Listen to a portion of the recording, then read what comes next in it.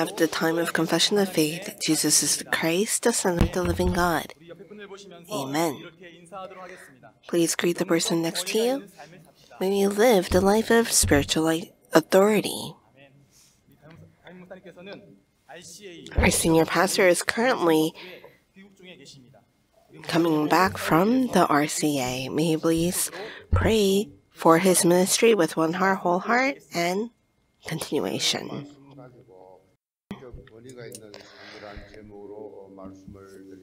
The title for today is Life with Spiritual Authority. This Sunday, I am meeting you by screen.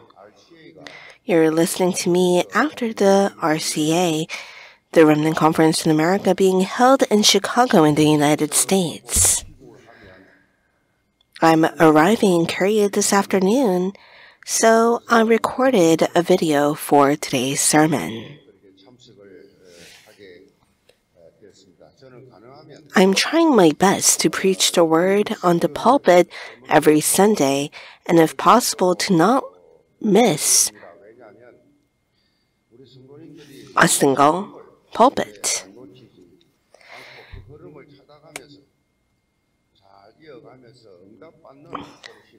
And it is so that you'd be able to do the walk of faith with the answers not losing hold of the spiritual stream of the word.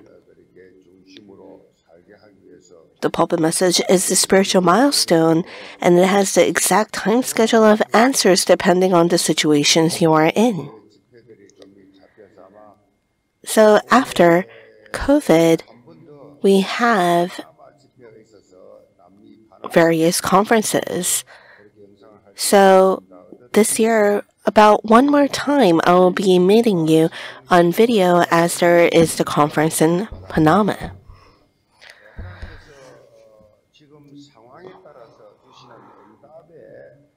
So depending on the situations you are in, the exact time schedule is within the pulpit.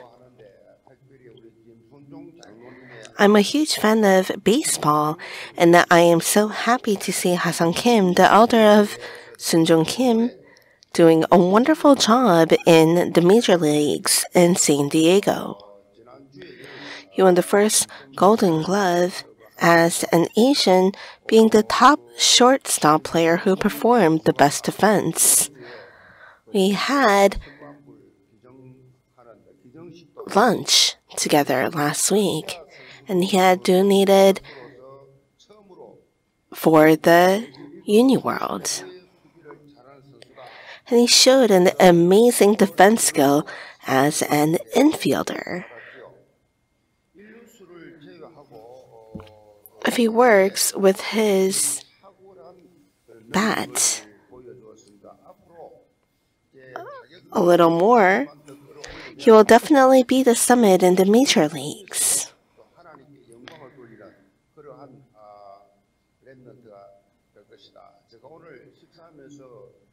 May we all please pray for him. So, hearing his testimony while having lunch, it's that he had three prayer topics. And he said that it was all answered exactly.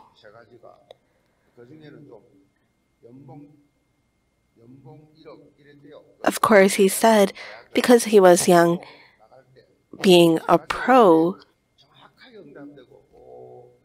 athlete, he prayed for a lot of money. But he received a lot of training in church and had gone to many mission trips. But even now, he's holding on to the word and listening to the word. And Pastor Paul is doing upper room movement together. So they have this background of the gospel together. Why is it that other athletes don't try? They do. Especially for the Asians, it's difficult to catch up to, let's say, the athletes from South America. But we believe that it is an answer from God. You might question why is he talking about baseball all of a sudden? There's a term batting eye in baseball. It is an eye to discern the ball that the pitcher throws and deciding whether to hit it or not in a very fast manner. In Korea, the normal rate is 140 kilometers, but in the United States it's 150, 160 kilometers. So he saw it for the first time. He just would blink and the ball would be passed. If he saw the ball, he would be too late in batting.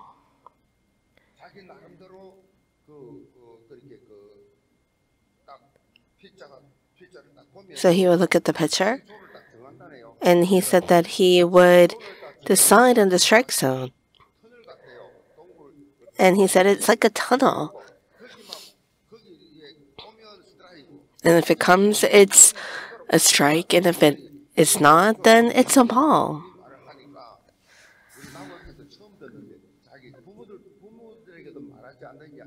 So he was speaking of something that he never even told his parents. So he really has a very good batting eye. I said, why is Park Byung-ho lagging back? And he said because he's getting old, the reflexes are getting slow and he doesn't have a good batting eye right now. But he says you have to be born with it.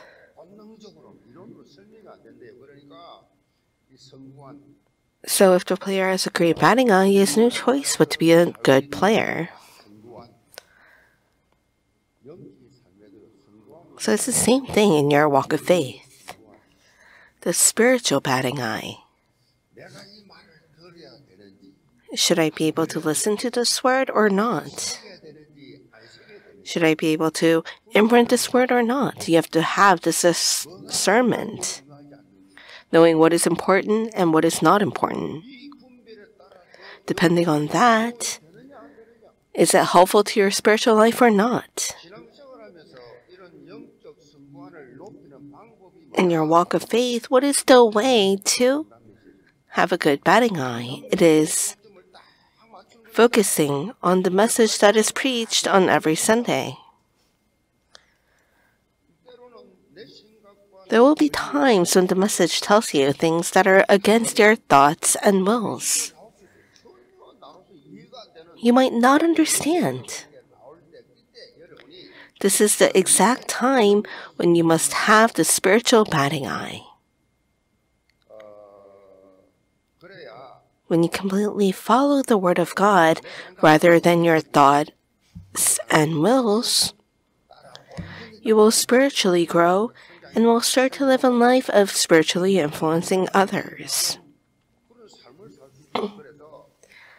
That is why I am paying attention to stay inside the spiritual stream of the pulpit message. Last week was Thanksgiving Sunday, so we focused on the passage related to that.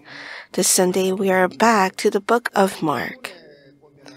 When you see today's scripture, it is talking about Jesus, who started his ministry only with his amazing spiritual authority and without the worldly power. Authority is the power and the right to give others and to make decisions. It's to give orders and to make decisions. This is not making people obey forcefully, but rather making people follow by moving their hearts. Jesus began his public ministry under the authority of Jesus. The Israelites experienced astonishing enlightenment and change that they have never experienced before.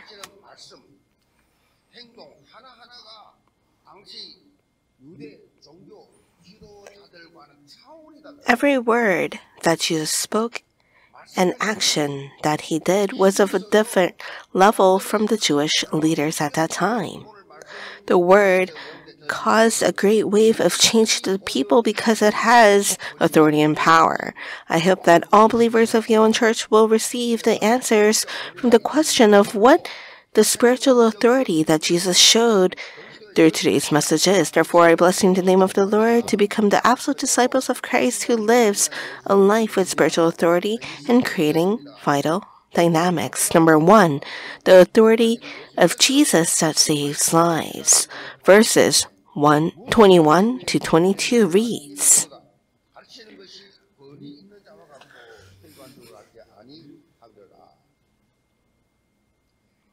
We can see that Jesus taught the word to his disciples in the synagogue at Capernaum.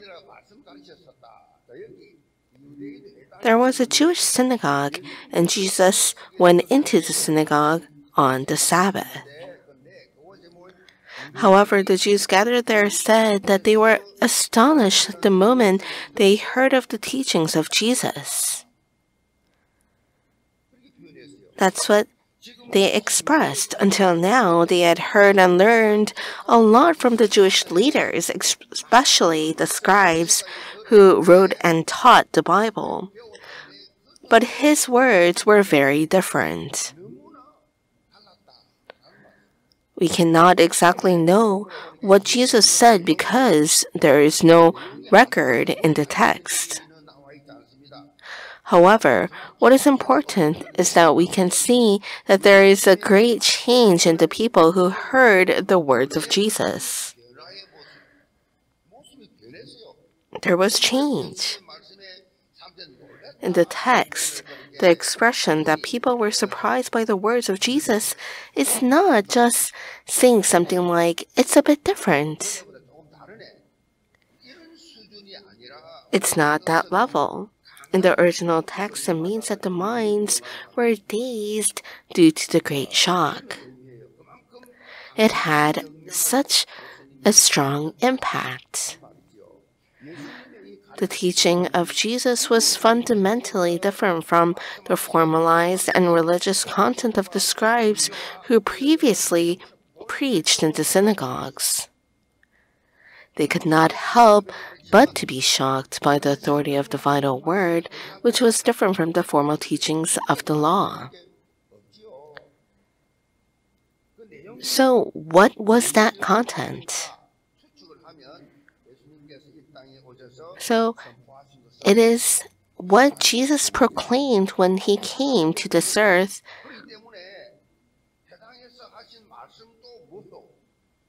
It was the gospel of God. Therefore, the words spoken in the synagogue must have been the gospel of God.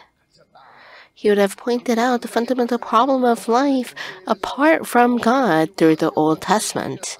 God quenched their spiritual thirst by telling the way of salvation to escape from the fact that due to the sin of the first man, Adam, which occurred in Genesis chapter 3, all mankind had no choice but to live in sin and be cursed as slaves to Satan and to go down the path of eternal destruction. Hearing Jesus speak about the spiritual truth must have been a shock to them, because all they have been taught was all about the do's and don'ts. As a team of three movement is taking place, many new newcomers have come, but there are two kinds of newcomers. Some are non believers who have come to church for the first time in their lives, and some were already believers of different churches and moved to Yewon Church. I reviewed the weekly newcomers report that contains the various reactions of the newcomers. Some say that they do not have a clue on what this is all about because it is their first time in church. But most newcomers say that they feel something different about our church. They say that they felt something new here. Especially those who move from other churches have said that hearing the gospel message from the pulpit, they were shocked and deeply moved. I know that our conductor, Elder No, he had evangelized to about 10 people. And eight people have been settled to the church. And after the worship, what they said after their third service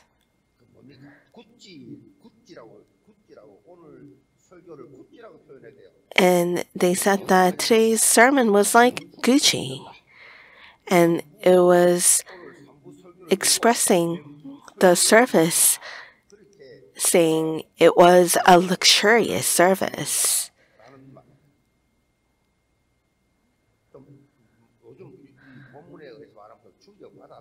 So they were saying it's different and that they were shocked by the word. So I always end up giving thanks to God, seeing their souls reviving. The gospel that I preach here is not anything else. It's that Jesus is the Christ, the answer to all our problems. Therefore, there cannot be a change in the field where the life of Jesus Christ is not preached. And those who believe in this and those who don't are completely different. Those who believe in this, they will be able to say amen to it naturally. But for those who don't believe, even if we say that Jesus is the Christ the answer to all their problems,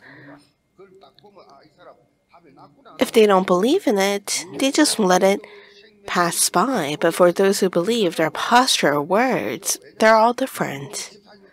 In John 14, 6, Jesus said clearly, I am the way, the truth, and the life. No one comes to the Father except through me. This is what Jesus had said. That is why Apostle Paul says in Philippians 2:16 that he is putting his all in and to go all in for the sake of the gospel so that he may be proud in the day of Christ. This is the only way our life or labor to not be in vain. There is a common characteristic for scientists like Newton, Einstein, Edison, and businessmen like Warren Buffett or CEOs like Bill Gates who achieved a remarkable success. What is the similarity? It is immersive thinking. It is thinking about an issue in a highly concentrated state. One the important practical methods of Jewish gifted education is to encourage immersive thinking. For those who do not have immersive thinking, whatever field it may be, it's difficult for them to succeed. Other people will say that they are crazy about it. If that person is crazy about it, then that person is very successful. No matter what role that person has doing what, even when saving lives, it is crucial to come to the fact to have immersive thinking. When you immerse yourself in something you find fun in, the fruit follows. Let's say that you found a tiger. And how you express after seeing that is different. The person who relays those words expressing how they were in that situation.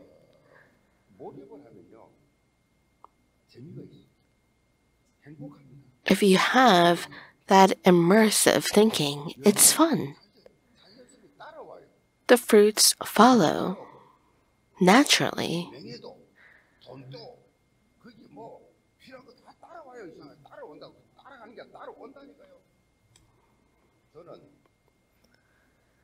Personally, I did immersive thinking for evangelization, and I'm speaking to you as a witness.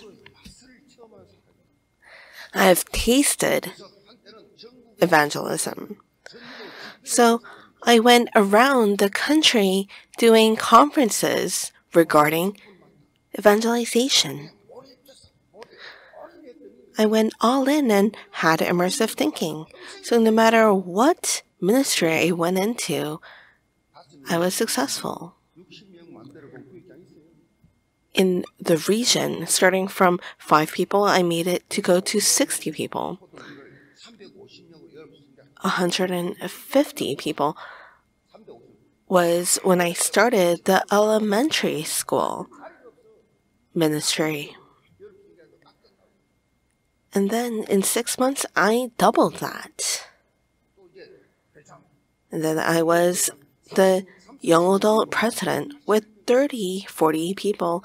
I made it to go to 1,080 people. You may not be surprised, but at that time, there was an uproar. Right now, our young adults have worship in the main sanctuary. I did that in Seungno Church in Busan. So when I was in charge of the men's ministry, I was the president and made that ministry grow. And for when I was in the financial ministry, before it was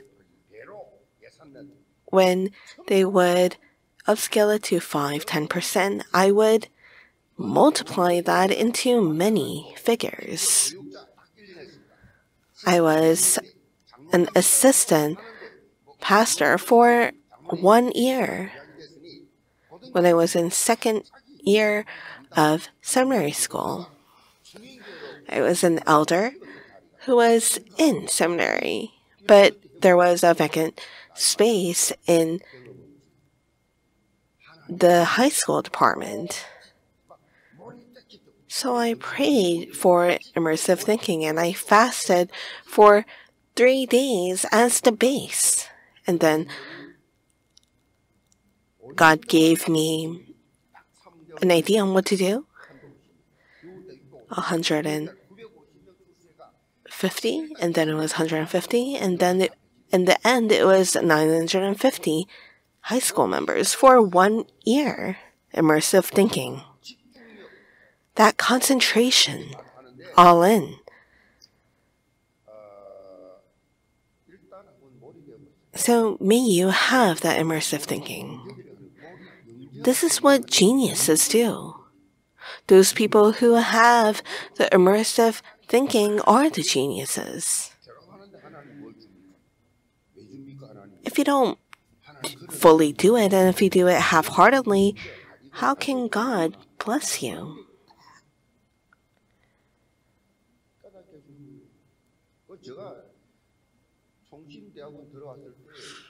So when I was in PhD of seminary school, I was asked to do a conference. I had 800 people who were in the same grade as me, and I said, Did you make the church have revival? Did you go out and evangelize? And they said, If you did not do that, go back. Pray. How much did you pray? Then we were challenging for prayer and evangelization. And everybody went up to the mountain that night and we prayed all night long, saying that we'll do it too.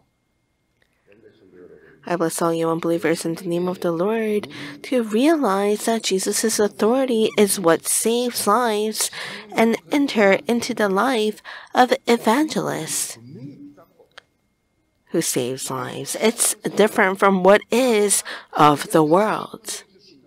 May you make the paradigm shift and have the spiritual immersive thinking. May you be able to have this answer Number two, the spiritual authority that binds the forces of darkness. Verses 23 to 24.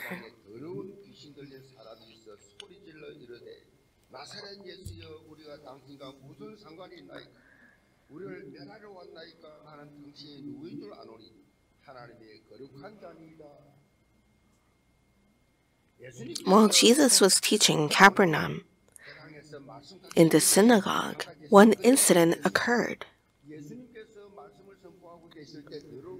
While Jesus was preaching, a man possessed by an unclean spirit cried out loudly, What have you to do with us, Jesus of Nazareth? Have you come to destroy us? I know who you are, the Holy One of God. The demon really recognized is itself just like a demon. In 1 John 3 8, Jesus explains one of the reasons for his coming to this earth. Whoever makes a practice of sinning is of the devil, for the devil has been sinning from the beginning. The reason the Son of God appeared was to destroy the works of the devil. According to the passage, Jesus came to this earth as the King of Kings to destroy the works of the devil. The demons, the, dev- the devil's servants, knew this fact very well because they were spiritual beings. Jesus is expressed as the Holy One of God. This is an expression meaning the Messiah. We know that Jesus will come as Christ and fulfill the role as our prophet who is the way to meet God, our priest who solved all sin problems, and the king who defeated the powers of darkness. The demon knew this and was talking about something that Peter, Jesus' great disciple, did not yet know, and what the other disciples did not notice at all. The Holy One of God. The purpose of Jesus' coming. However, what's interesting is that Jesus didn't ask the demon how he knew that fact. He didn't engage with the demon's words at all. Instead, he immediately rebuked it and commanded it to come out of the man. The authority of Jesus' words caused the demon to have no choice but to leave the man instantly without putting up a resistance. This is the method by which the power of darkness is broken. In today's passage, it refers to the demon as an unclean spirit. Demons are impure entities, unable to coexist with the Holy Spirit of God dwelling within us. They are express, especially deceptive and destructive forces aiming to deceive and bring about ruins. John 10:10 clearly states the thief only comes to steal and kill and destroy. I came that they may have life and have it abundantly. Demons and evil spirits ultimately aim to deceive, kill, and bring about destruction in their lives. Hence, consulting a fortune teller possessed by evil spirits leads to one down a path of destruction, and these beings are intent on leading forward the ruins. They asked, Can I go on this business trip or can I get married? They will fail together. An assistant pastor was serving in the rural church, and there was a demon possessed person in the village. Since it was his first time encountering the situation, he didn't know what to do. So he took the demon possessed person and sat around with a few believers, singing hymns and praying. However, the ghost did not go out. So they continued to take turns reading the Bible. And when the person who was normally lukewarm in this walk of faith read the Bible, the quiet demon possessed person suddenly shouted at this person, saying, You don't believe it.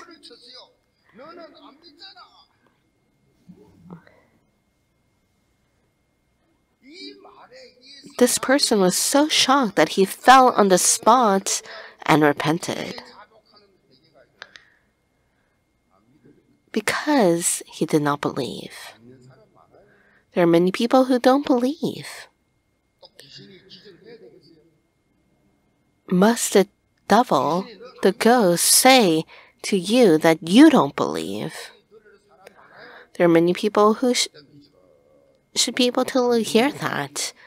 They're lukewarm, not knowing whether that person has a church duty or not, whether he goes to church or not. May you believe. Mark 16, 17 makes it clear that Jesus, who casts out demons with words, has given us the authority as well. The same authority. And these signs will accompany those who believe in my name, they will cast out demons. Amen. We can clearly see that He has given us the authority to drive out demons in the name of Jesus Christ. I was a born Christian, but I did not know this. I never heard of it. I did not know I had this authority. However, establishing the church, there are people who are demon possessed. So, as an assistant pastor, I had to do it. Even if they would not go, I should have at least made an effort to do it. So, as I was reading the Gospels, it said, In the name of the Lord Jesus Christ, may go out. I would stay with my lips, but I had doubt, questioning, would they go out? Questioning my authority, but it fled. Seeing that, I was shocked. The name of Jesus Christ has such power. Praying in the name of Jesus Christ, that demon goes out. How can I heal a fatal disease? Am I a doctor? No. But I went to the hospital two times a week praying for that person, and that person was healed. Oh, it's so amazing. I did not know that there was such gifts. But in the Bible it said for those who aren't sick, the hands will go upon that person. And there was one pastor who questioned if you cannot make a demon flee, how can you call yourself a pastor? If you want to test that, then you can follow the shaman team.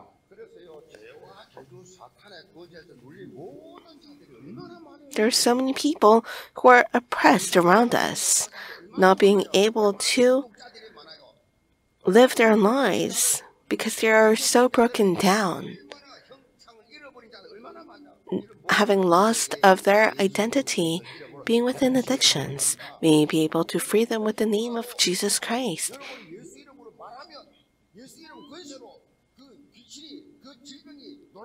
If you pray in the name of Jesus Christ, there will be great works to take place.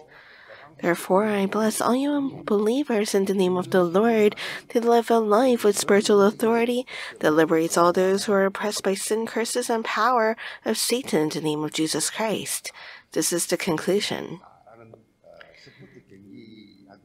There is a saying, lost but beautiful. It is an expression often used in sports and has the meaning of I lost but I fought well.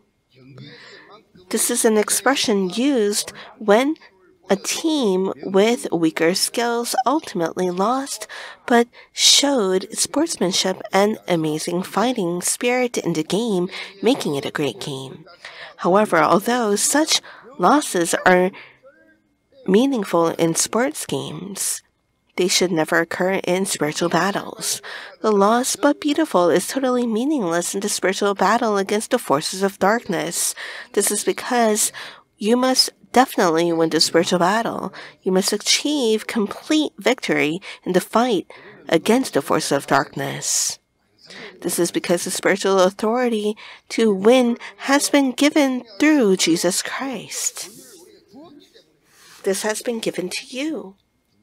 The important thing is for you to not be deceived.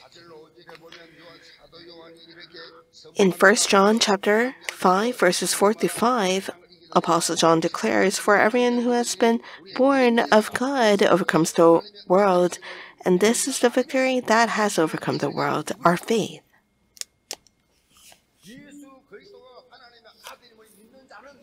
It is those who believe that Jesus is the Son of God.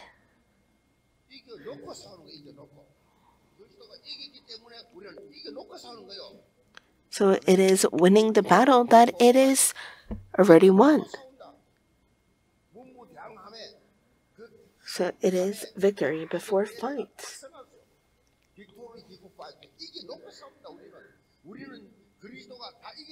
Because Christ has won over everything, we have won over the world.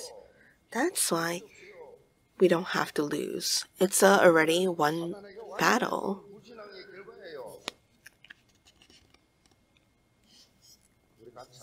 So may we confess together I am the victor who overcomes the world. Amen. You are the victors. You must be bold as you believe in Jesus.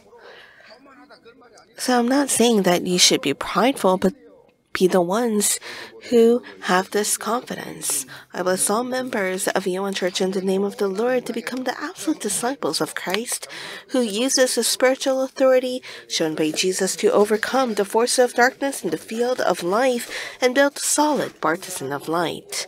Let us pray together. Dear Father God, we are the people who have the spiritual authority May we be able to follow after Jesus Christ to save people and force away the force of darkness and be the victors of the world with this authority. In Jesus Christ's name we pray. Amen.